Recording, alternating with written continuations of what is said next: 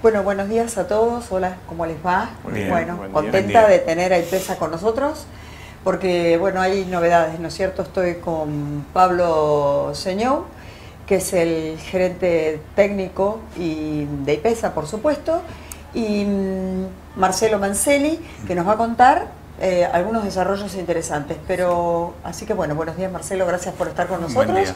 Gracias a Y vamos a, a- a contar un poquitito a ver en qué está IPESA, cómo está viendo la campaña. Bueno, eh, verdaderamente, como todos los años, nos sorprendemos nuevamente de, de la adopción de la tecnología, cómo sigue creciendo y en particular eh, en un año que las condiciones climáticas nos eh, vienen favoreciendo en cuanto a la producción por un lado, pero por otro lado nos generan algunas complicaciones que tienen que ver con la transitabilidad de los caminos y anegamientos, en algunos casos la falta directamente de caminos. Y es la bolsa la que nuevamente viene a solucionar ese problema y llevarle al productor la solución para poder cosechar en el momento oportuno y en las condiciones que, que el lote lo permite. O sea, hoy por hoy eh, hay muchas zonas de Argentina que si no es mediante el embolsado no se va a poder cosechar.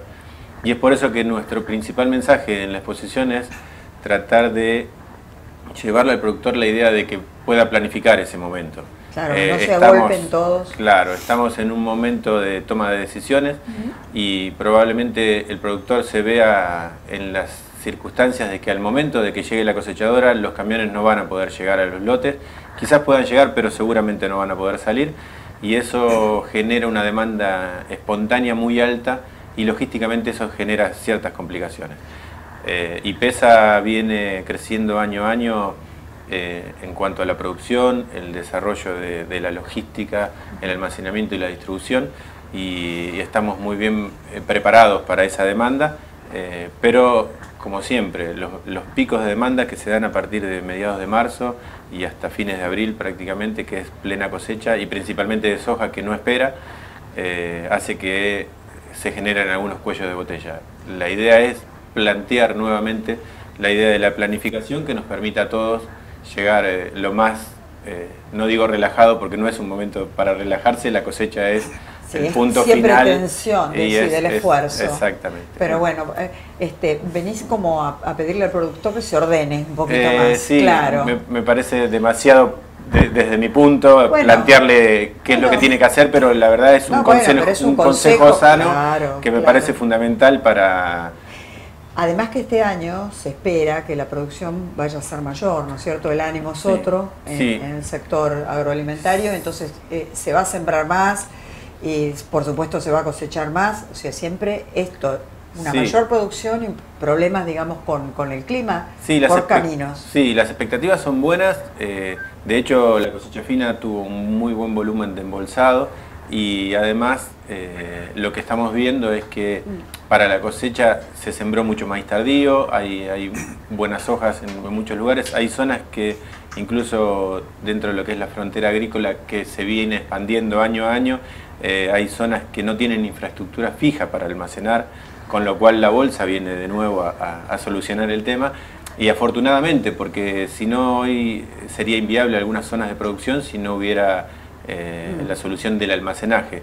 Temporario o planificado, eso, eso se da según las circunstancias, pero sabemos que la demanda va a ser muy alta y obviamente para eso nos preparamos. Porque además ¿Están preparados? estamos preparados, sí, ¿Eh? por ¿Y supuesto. para, para cosechar, digo, para embolsar toda la cosecha?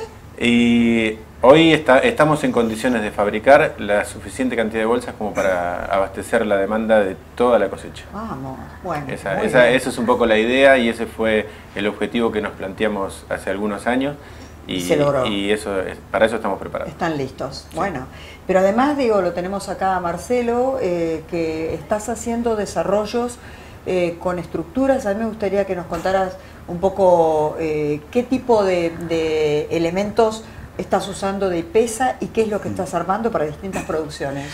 Sí, eh, bueno, nosotros fabricamos estructuras de acero galvanizada para diferentes tipos de usos, para, y, y todas eh, con usos con polietilenos de, de diferentes características.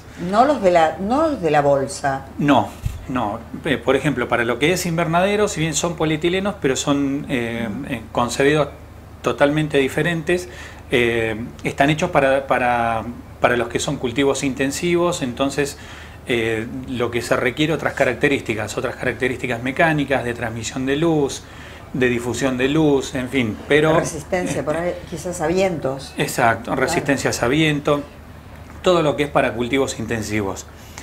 Eh, y desde hace unos cuantos años este, estamos trabajando junto con IPES haciendo desarrollos diversos, eh, desarrollos para diferentes tipos de producciones, producciones de acuicultura, no solo porque o sea, lo más conocido siempre es lo que es la eh, la horticultura o la floricultura, el invernáculo. Eh, pero hay otros desarrollos eh, que si bien por ahí ahora no, son, no están muy difundidos, pero estamos tratando de adelantarnos a cuando vengan estos tipos de producciones que creemos que a corto o mediano plazo se van a empezar a desarrollar como lo que es la cría intensiva de peces, este, también módulos para producción de microalgas.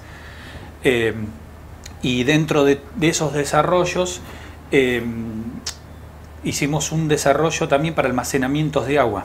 Ah, sí, eh, eso que es lo último, lo más novedoso, ¿no? Sí, eh, entendimos de que el problema del almacenamiento del agua está y, arrancamos con un desarrollo puntualmente para la industria de la fractura, para el fracking en ah. vaca muerta, donde para ese tipo de operaciones se necesita almacenar grandes volúmenes de agua en un periodo corto de tiempo. Eh, para lo cual bueno, hicimos un trabajo de, investigación en las empresas petroleras, de ver cuáles eran los problemas que tenían, porque eh, en las locaciones, o sea, un tanque se puede construir en cualquier lado, pero, eh, vuelvo a repetir, son grandes volúmenes de agua en un periodo corto de tiempo, para lo cual las construcciones tradicionales de tanque eran todo un problema y, con otros ingredientes, sí, totalmente, otros costos. Teniendo en cuenta que, quizás las locaciones están muy lejos de, los pueblos, hay mucho transporte, eh, logística. Eh, entonces, bueno, un poco hicimos un trabajo de investigación en lo que es la industria del petróleo, a ver qué es lo que necesitaban. Y bueno, terminamos con un desarrollo de un tanque metálico eh, que es totalmente desarmable y que la contención del líquido se hace con polietileno. Eh, de hecho, IPESA hizo un desarrollo a medida para esa industria ah, con un producto que, es la Geoflex, que mm, eh, en el aspecto es una geomembrana común, pero en realidad no lo es, está formulada diferente, donde las características principales este, es mayor resistencia mecánica y mayor flexibilidad. Teniendo en cuenta de que bueno es una industria que eh, hay que eh, tiene que tener características muy resistentes por el tema del medio ambiente. Y bueno logramos no se puede partir digamos ahí no puede haber un accidente o en el caso de que claro no, debe haber accidente y aparte tener en cuenta de que también tiene que ser resistente a ciertos tipos de químicos porque si bien la fractura se hace con agua Sí. Pero después viene el flowback, que es el, retorno del tanque donde ese agua viene contaminada. Petróleo. Petróleo, gas, de todo. Lo que pueda haber depende, depende de donde esté ubicado el pozo, puede aparecer cualquier cosa. Y bueno, em, terminamos logrando un producto, un desarrollo, por ejemplo, que eh, hemos instalado un tanque de un millón de litros en cinco horas, cuatro personas. Enorme.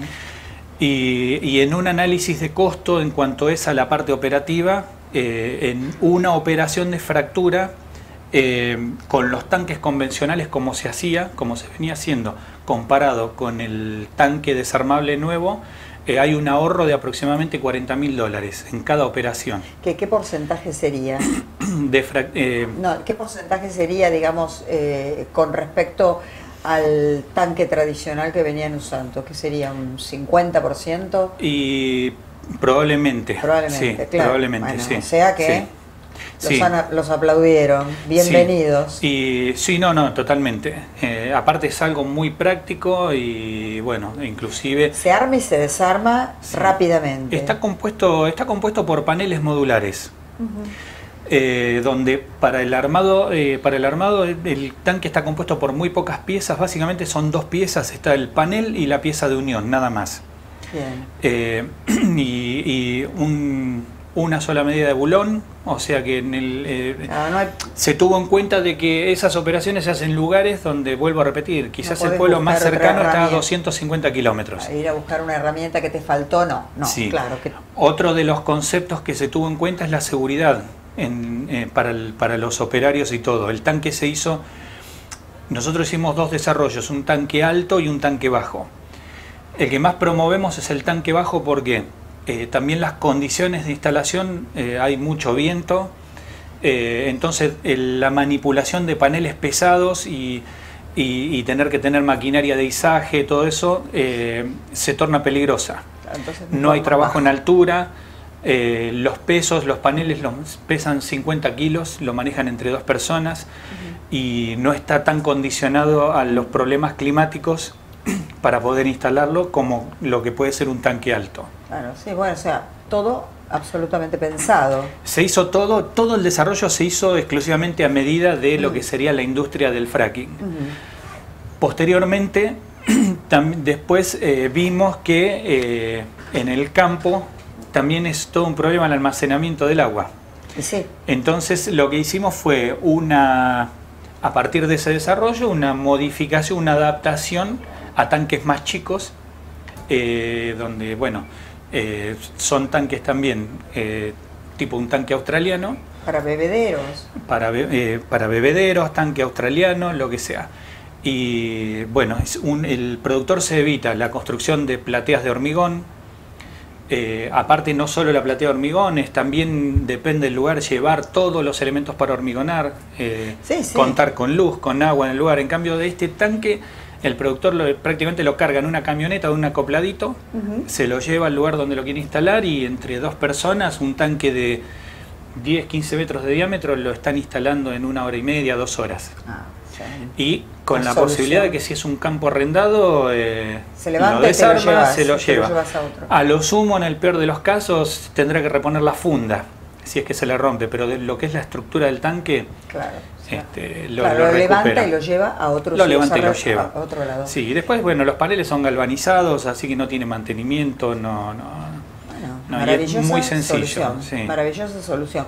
Y, y, digamos, estas estructuras metálicas solamente, no, vos, vos estás contando que eran para invernáculos. Sí. ¿Y para qué otro tipo de producción? ¿Algas, me decías? Sí, microalgas para el, el tema de la producción de microalgas se hace en agua también, Sí. donde eh, la estructura eh, pasa a integrar parte de lo que es la pileta, es- o sea, Sí. mejor dicho, la, la pileta está integrada a la estructura, Sí. eh, donde se hace una recirculación interna. La pileta es toda de polietileno.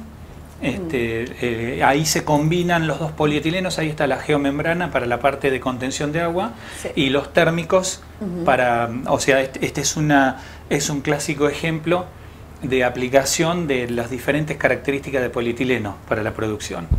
Tenemos geomembranas en la parte de contención de agua, donde van, se siembran las algas, y eh, los polietilenos térmicos eh, para, para aportarle a las algas eh, la luz necesaria ¿sí? para, para que trabajen. Eh, así que es un, este, este sería un ejemplo característico de, de diferentes tipos, o sea, polietilenos que En- están en desarrollados para diferentes industrias claro. en, en un mismo, en una misma producción. para una misma producción. Y lo mismo en el caso de la acuicultura. El tema de la acuicultura que, que muy sintéticamente sería el engorde, la producción de peces en forma intensiva, o sea, no salir a buscar el recurso eh, al mar, eh, sino este, hacerlo en forma intensiva. digamos, claro. Exacto. Eh, es, es- es otro ejemplo más, eh, donde Bueno, también la- las piletas son de geomembrana y el ambiente donde necesitamos las condiciones de temperatura, luz y todo eso, utilizamos los polietilenos térmicos. Bueno, un ejemplo de la creatividad Sí. de los argentinos, ¿no? Siempre, siempre terminamos la- las charlas diciendo, creo, un poco eso, que, que Argentina tiene un potencial Ah, muy grande en producción y en diversidad. Eh, me parece que es- llegó, llegó el momento de, de aunar esfuerzos y, y desarrollar verdaderamente un país que tiene la- las condiciones para hacerlo. Bueno, ahí estamos. ¿Volver al futuro? ¿Cómo Sería, es? ¿Eh? ¿Sería? sí, sería, Bueno. me parece una- un buen Bueno, eslogan. les agradezco muchísimo, entonces gracias Pablo por estar con No, nosotros, favor, gracias. Marcelo. No, gracias a vos. Una, una sola cosa, Sí. ¿dónde están ustedes? ¿Dónde está? el- Nosotros, sí, nosotros tenemos la fábrica en Mar del Plata. Ah, en Mar del Plata. Sí, en Mar Bueno, del Plata, provincia de Buenos Aires, y pero bueno, este, trabajamos en todo el país e, e inclusive fuera del país también hemos hecho bueno, para todo esto se comunican con IPESA o directamente contigo? A través de los dos canales. De los dos canales, este, nosotros estamos en, contacto continuo eh, con IPESA, así que tenemos ese ida y vuelta. Bueno, yo la verdad te felicito. Gracias entonces Marcelo Marceli. Gracias Pablo Señor.